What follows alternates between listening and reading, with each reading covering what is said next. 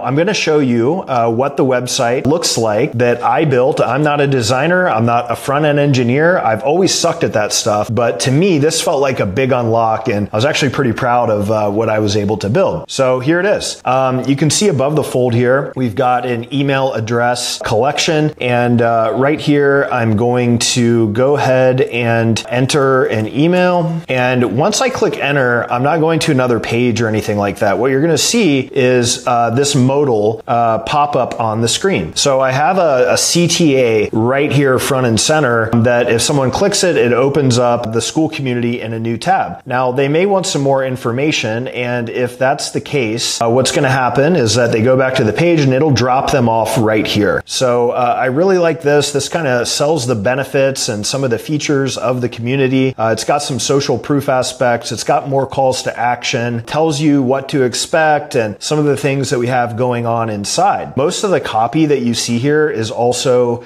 generated by Claude.